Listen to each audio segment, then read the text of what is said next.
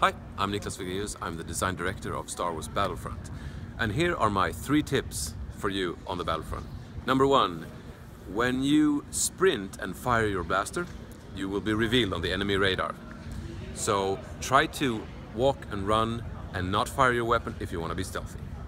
Tip number two, uh, when uh, an enemy position is fortified by enemy shields, use the cycler rifle.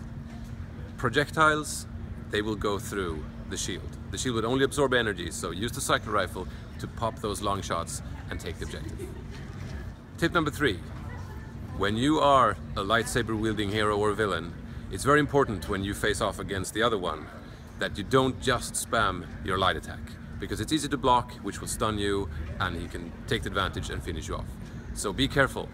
Use your block, use your heavy attack, and your light attack when, when you need to and that's how you win a duel with lightsabers in Battlefront.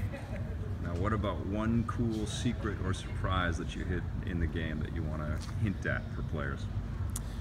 So one cool little secret or surprise, I think when you are on Endor, you should beware there might be wildlife. So just keep in mind.